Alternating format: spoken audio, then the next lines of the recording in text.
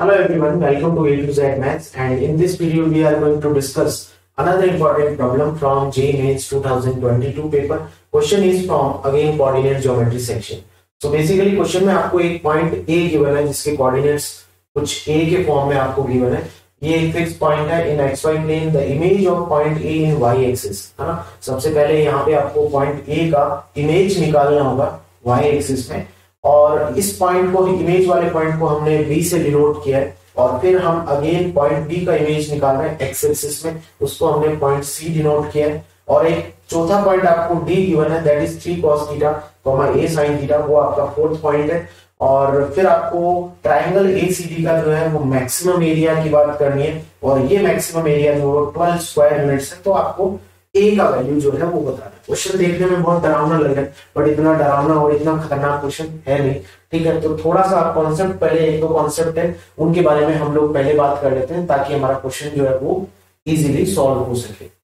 Right so start करते हैं। देखिए, सबसे पहले हम बात करें इमेज की। तो इमेज वाला ये क्या कॉन्सेप्ट है? देखिए बच्चों, दो हमारे पास कोऑर्डिनेट एक्सिस होती है, ये हमारा एक्स एक्सिस होगा। अब जिस भी पॉइंट की मैं इमेज निकालूँगा एक्स एक्सिस में लेट्स से ये पॉइंट हमारा एक्स वाई है यदि इस पॉइंट का हमें एक्स एक्सिस में इमेज लेना है, ये वाला एक्सिस हमारा एक्स एक्सिस है तो उस केस में आपको क्या करना है कि इससे परपेंडिकुलर आपको चलना है इतनी ही डिस्टेंस पे नीचे। तो जैसे आप नीचे पहुँचेंगे तो इस पॉइंट दूसरे वाले को लेट से ये पॉइंट हमारा क्यू है तो इस क्यू को हम बोलते हैं पॉइंट पी का इमेज है ना? इमेज अब इसमें फ़र्क क्या पड़ा कि आपका एक्स कोऑर्डिनेट तो चेंज ही नहीं हुआ, बस वाई पहले ऊपर था और अब नीचे शिफ्ट हो गया, इसका मतलब अब इस पॉइंट के कोऑर्डिनेट होंगे एक्स कोमा माइनस वाई तो इसका मतलब जब भी हम किसी पॉइंट की इमेज एक्स एक्सिस में देखते हैं तो उस केस में हमें जस्ट वाई कोऑर्डिनेट को जो है वो नेगेटिव से रिप्लेस कर देना है तो उस केस में हमें एक्स एक्सिस में इमेज मिल जाता है। ये हमारा फ़र्स्ट कॉन्सेप्ट हो गया। ठीक है, ऐसे बच्चों, हम यदि वाई एक्सिस की बात करते हैं वाई एक्सिस में जब कभी भी हमें इमेज निकालना होगा तो उस केस में आप देख सकते हैं कि ये हमारा एक्स एक्सिस हो गया और ये वाला हमारा वाई एक्सिस हो गया।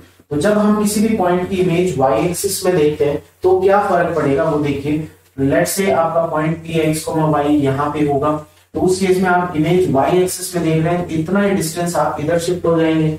इस पॉइंट को लेट से हम क्यू कॉल कर देते हैं? तो आप देख सकते हैं कि हमारा y कोऑर्डिनेट चेंज नहीं हुआ है। पहले भी हम y पे यही थे और अब भी y पे यही है। बट हमारा x कोऑर्डिनेट जो है ना, वो रिप्लेस हो गया। पहले इस साइड था और अब ये x कोऑर्डिनेट इधर आ जाएगा। इट मींस x कोऑर्डिनेट हमारा नेगेटिव हो जाएगा। यानी माइनस एक्स वाई आपका पॉइंट क्यू हो जाएगा। तो पॉइंट पी से हम लोग रिप्लेस हो गए पॉइंट क्यू पे और इसी चीज़ को हम लोग बोलते हैं इमेज पॉइंट राइट अब आपको अच्छे समझ लग गया होगा कि जब हम एक्स एक्सिस में इमेज देखते हैं तो हमें y कोऑर्डिनेट को नेगेटिव कर देना है, और जब हमें y एक्सिस में इमेज देखना है तो हमें x कोऑर्डिनेट को जो है वो नेगेटिव कर देना है। ये एक्सिस के रेस्पेक्ट में जो है वो इमेज का कॉन्सेप्ट हमारा बनता है।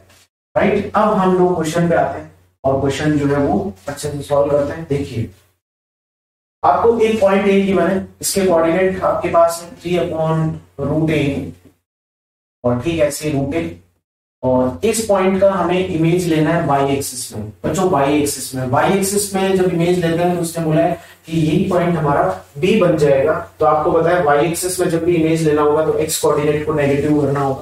तो ये नेगेटिव कर देते हैं तो minus three upon root A और ये आपका कॉमन रूट ए ये हमारा पॉइंट बी आ जाएगा। फिर क्वेश्चन में गिवन है कि पॉइंट बी का फिर से आप इमेज लो, कौन सी एक्सिस में? एक्स एक्सिस में इमेज लो।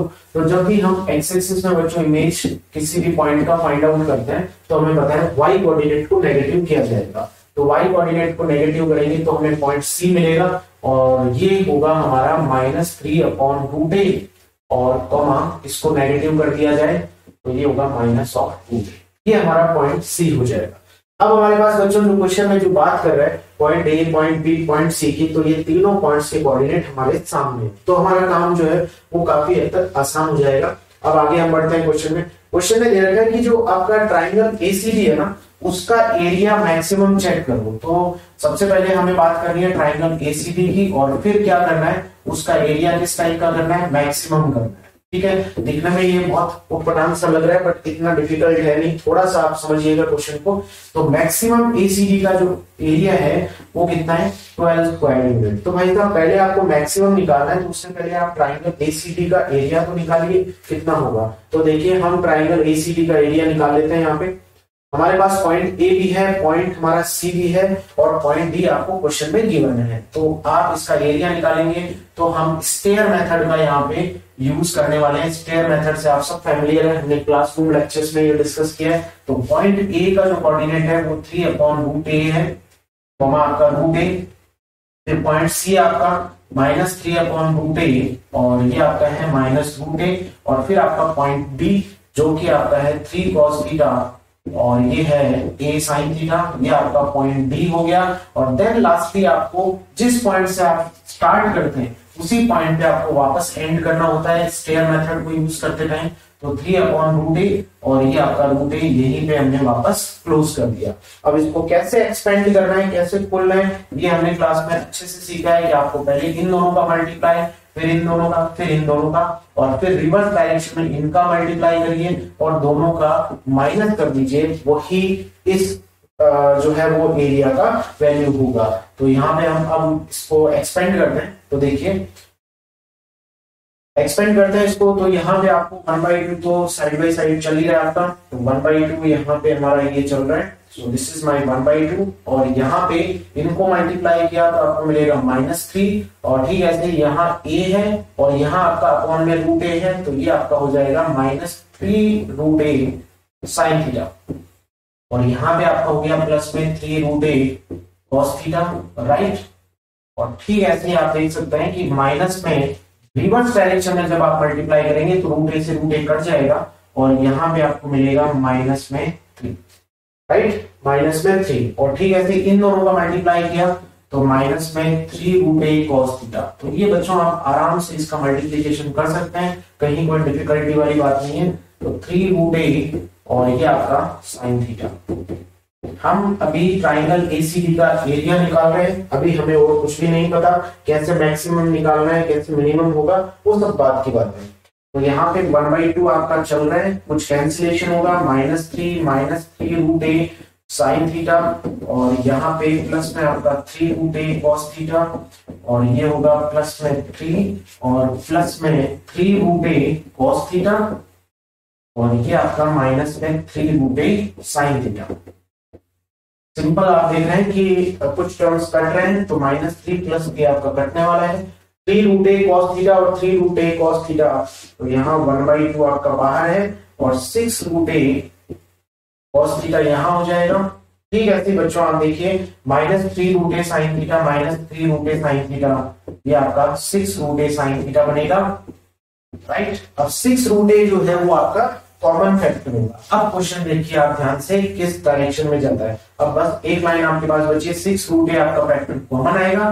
ये कैंसिल होगा तो थ्री रूट ए और ब्रैकेट में बच्चों बचने वाला है cos theta minus sine theta ये इस ट्राइंगल एसीडी का जो है, वो एरिया होगा। बट इस एरिया को आपको किस टाइप का करना है? मैक्सिमम करना है। अब हमें पता है कि यहाँ इसको तो कांस्टेंट ट्रीट करना है हमें, ये तो मैक्सिमम मिनिमम होगा नहीं। बात इसकी होगी कि ये मैक्सिमम मिनिमम हो सकता है।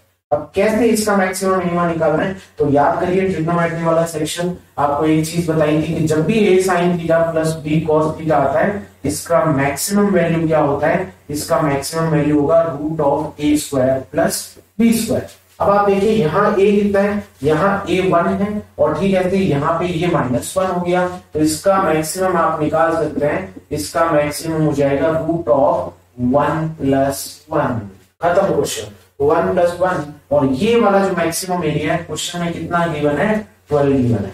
अब इसको हमें कुछ भी नहीं करना सिंपली जो है, वो ठीक से सॉल्व कर लेना है। तो आप देखिए, यहाँ थ्री से ये कैंसिल होने वाला है फोर टाइम और यहाँ रूट ए और यहाँ भी आपका रूट टू होगा and that is equal to four square कर दीजिए तो two A is equal to sixteen होगा, और यहाँ से आपका ए का जो वैल्यू है, वो कितना हो जाएगा? एट हो जाएगा। राइट सो यहाँ से आपका जो ये एनएटी टाइप का क्वेश्चन है, उसमें आपका जो करेक्ट आंसर होगा, वो यहाँ पे करेक्ट आंसर क्या भरने वाले हो आप लोग? यहाँ लिखने वाले हो this is eight so this is the official answer by NTA so इसका जो करेक्ट आंसर है, वो होगा एट सो आई होप आपको ये क्वेश्चन बहुत अच्छे समझ लग गया होगा। सो क्वेश्चन फंडामेंटल था बट क्वेश्चन में जो लैंग्वेज है, वो इस तरीके से फ्रेम करके दी हुई है कि आपको उसको धीरे धीरे बाइफोल्ड करना है और हर एक इंफॉर्मेशन को एक्सट्रैक्ट करते हुए जो सिंपल से अपने कॉन्सेप्ट है वो अप्लाई करते हुए इसको सिंप्लीफाई करते हैं। Thank you so much for watching this video so upcoming जो हमारे लेक्चर्स होंगे, उनमें फिर से हम लोग जो है वो प्रीवियस ईयर क्वेश्चन सीरीज़ को कंटिन्यू करने वाले हैं। जो कोऑर्डिनेट ज्योमेट्री का पार्ट है, वो अभी हमारा चल रहा है। साथ साथ पैरेलली में जो है वो कॉम्प्लेक्स नंबर्स के सॉल्यूशन भी मैं कुछ टाइम के बाद में स्टार्ट करने वाला हूँ। Thank you so much